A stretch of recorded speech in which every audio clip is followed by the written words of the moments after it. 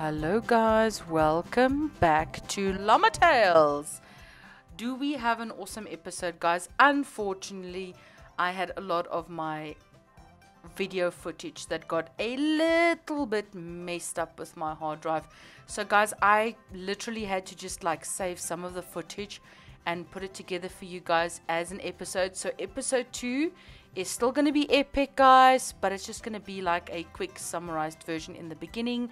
So, guys, right now I'm actually gathering some resources to finish up my starter house. Yay, guys! I got most of the things that I needed, but I just needed some more cobblestone because I have this grand, great idea of building my base out of cobblestone. But I want to make those beautiful brick stones, right? And then I want to incorporate some deepslate because I love a deepslate roof. I cannot help myself. And then I also want to build with that beautiful red wood that you only find in a mangrove swamp. And all of this together, guys, I also want to use some of the dark oak and put all of that together to create a beautiful starter house. Now, my building style is a little bit different from others. I like it big. All right, I am the type of woman that likes to build a fairly big house. Why? Because I love space, man. I love having enough space to stack as many things. Do I envy the Minecrafters that can build small little houses and make it look all compact and beautiful and nice? Yes, I do. But I like to build things no less than four blocks high because I like the room. I like two, three, four floors. I like space. And that's even the same in my real life, guys. I actually love space and I like things clean, neat, and tidy. So whenever I build my starter house, I'm always thinking of like seven episodes ahead. I want to make sure that I can fit everything in there. Alright, so yeah, while I'm busy getting some cobblestone here, I'm just giving you guys a rundown of everything that happened. Unfortunately, yes, I did suffer that setback on my footage, but I'm going to make the best out of this episode, guys, because I want to build a really good starter house. So, like I said in episode two, let's jump away with building my beautiful, beautiful starter house. Alright, guys, I already laid out the foundation, so I'm going to be building in an L shape. Now, I know this is a very common shape. Um, I do like a good L shape when it comes to a house. I also like to texture things nicely. So as I said, I want the base to be that beautiful bricks, but then I also want to work in a couple of, uh, you know, blocks that just gives it a bit more dimension. You know, you don't want to look at it and all looks the same. You want to get an idea of things that are broken down, things that are looking a bit worn down. You don't want it to look like you just built it right now. You know, Minecraft is about looking, um, about texturing. I mean, it's all about texturing, guys. This is so epic! Hello everyone. So guys, when I had this vision in my mind, because I'm not the type of Minecrafter that goes and does a lot of research on different palettes and textures. I'm someone that just likes to build on the fly. I look at what looks good to me, what doesn't look good, I break down, I rebrand. I, that's the type of Minecraft I am. So what my whole idea is to create this beautiful foundation, have these dark logs going all the way up. In the beginning, I thought maybe just giving a cellar and maybe one floor. But as I was building, I realized I actually want to make it a little bit bigger. You know, I want to give it two stories up because I'm a Minecrafter with a bit of an OCD issue, right? I, I don't know how many of the other Minecrafters out there are like this, but I like to compartmentalize everything. That means everything needs to have its own space. And don't you dare put anything in the wrong space. So when I when I say that I like to put everything in its place, I literally mean that. My sand needs to be in one box, and my box needs to be filled with the sand. And do not put anything except sand in my chest. So I am a little bit meticulous on that, but I am that for a reason, and I enjoy being that. So I I was like, no, let me give it two stories. Then I know there's enough space. I'm not going to have to expand later on. So I'm going to do the build once off and get it done. Now, obviously, guys, strip log just looks so beautiful. I mean, just look at the, the colors between that. You've got the beautiful foundation. So, guys, a bit of background. In real life, I'm an engineer. So, I have worked on many construction sites, done lots of mining. So, whenever I play Minecraft, I tend to work off that experience. So, my things need to be very square, it needs to be symmetric. And there we go, guys. So this would be the official start, and I'm going to be revealing to you my house. And this is a real beautiful one, guys. So I have finished it, yes. Uh, that was really fast. I'm a very fast builder. No, actually, my, my video got corrupted, so I just decided to do a reveal, guys.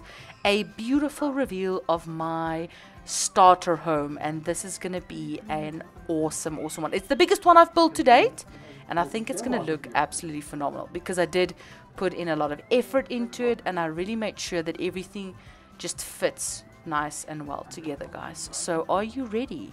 Ready ready ready for the reveal guys? And there you have it. Ooh, ooh, sorry. There you have it. That is my starter home. So I worked it off with a beautiful red you know from the mangrove trees and I did the beautiful little towers on top that has a bit of a Viking look and feel. But I'm kind of like really happy with the way it came out. You know, it it's nice and big. I need to still do a couple of things here and there. You know, my house grows with my channel. So the more I play, the more I expand on my home and the more I swap things and break things. But I do think that this house is looking phenomenal, guys. I don't know about you, but I do love the red. I'm a red freak. I love red. It's the most beautiful color there is. But I do think I need some green as well. So I didn't really work it off. Now, one of the, my favorite leaves is the mangrove leaves.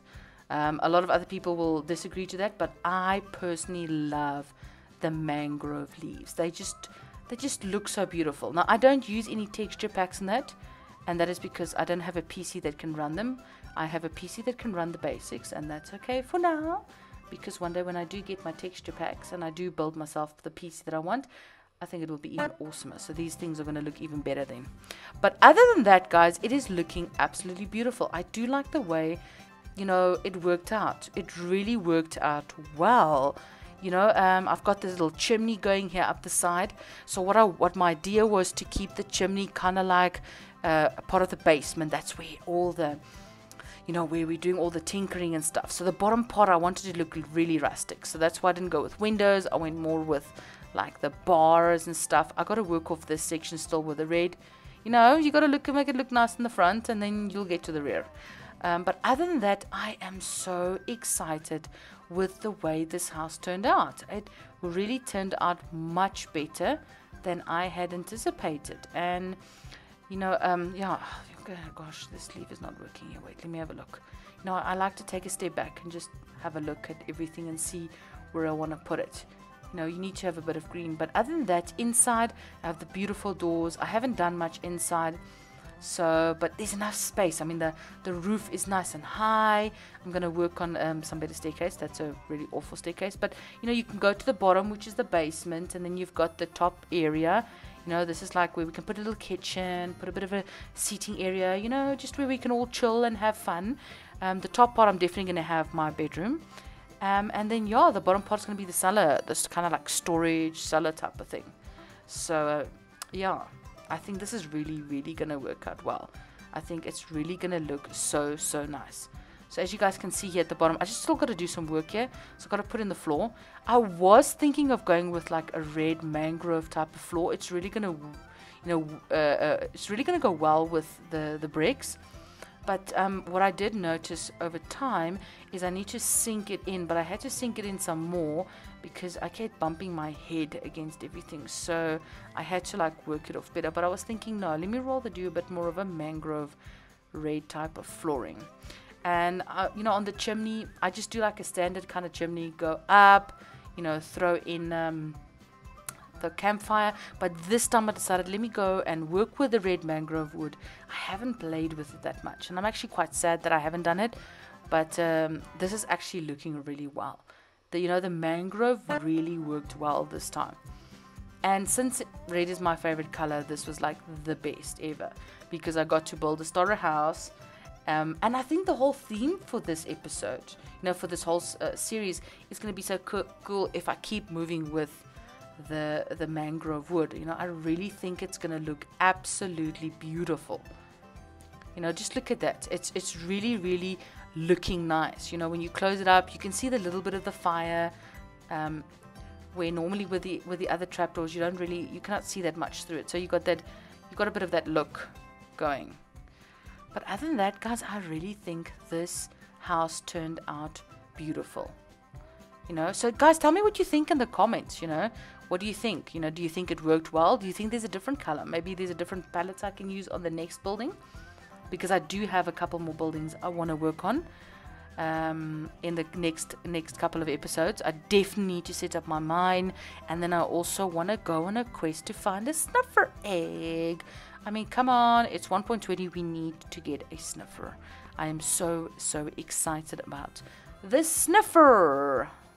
So, guys, if you're excited, drop it in the comments um, you know, let's let's all see who's all excited about the sniffer, and then obviously we've got to build a beautiful sniffer home. You know, all over YouTube, I'm seeing everybody building these really awesome homes for their sniffers. I got to get in on the action. I also got to do it. You know, i almost excited. Well, let's get these leaves on the roof. You know, not just to break this this consistent same type of brick, you know, just to break it down, make it look like there's a couple of overgrown things here. I actually do love that texture. You know, tell me in the comment section if you like it, but I do love the whole leaves and using different blocks and different textures in the roof. It just makes it look more original, you know, it makes it look more like it's real life type of scenario. Alright, this is actually coming together quite well. I'm really, really, really, really happy with this so far.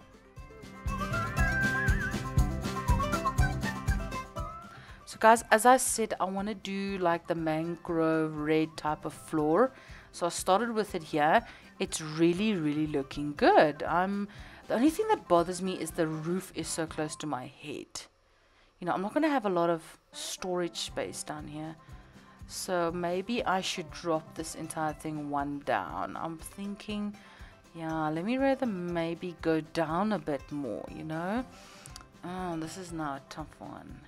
Yeah, uh, guys, I don't know. I think I think the the roof is too close to my head here. So yeah, I think I need to maybe drop this down a little bit more because I'm not really gonna get tons of storage space if it's this height. I wonder if it's gonna look better that way. Maybe, yeah, maybe dropping it down. I don't know. I don't know. I don't know. I don't know, guys. Maybe it does. Maybe it's gonna look better. Yeah. So other than that, guys, the the the house really turned out well. You know, I, I really love this build. Alright guys, another thing I need to show you is, I mean, can you believe that the Wandering Trader just keeps leaving these llamas here? I mean, how rude of him. You know, I had a chat with him and I was like, dude, why are you leaving your llamas here? And he was like, no, he doesn't want them anymore. So I then just kindly helped him along and I kept all his llamas because on Llama Tales, we love llamas and we it's one of the the characters that we actually love playing with the most is the llamas and that's what the channel is based upon you come for the llamas and you stay for the fun guys because we're having fun here okay i think um yeah so guys, if you do get that wandering trader, please ask him why is he leaving his llamas here. But if he does have some more llamas, please send them my way because I'm going to be building one really cool enclosure for all of these llamas. And I'm going to see how many llamas I can actually get in in this series. You know, how many llamas I can actually save from that awful wandering trader because he really doesn't take good care of his llamas. Here at Llama Tales, we really take good, good, good care of our llamas. We even change the carpets. We don't all keep them the same color. I mean, come on. I swear it's the same wandering trader doing this all the time.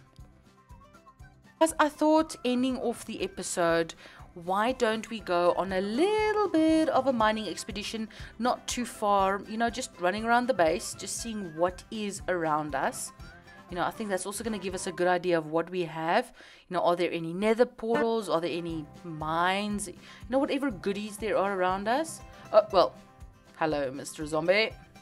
Goodbye. Well, that was really easy. It looked like the sheep killed him. That was really funny. I mean, it's like he just comes up and it's like the sheep walks next to him. It's like, "Bleh." so that was pretty funny.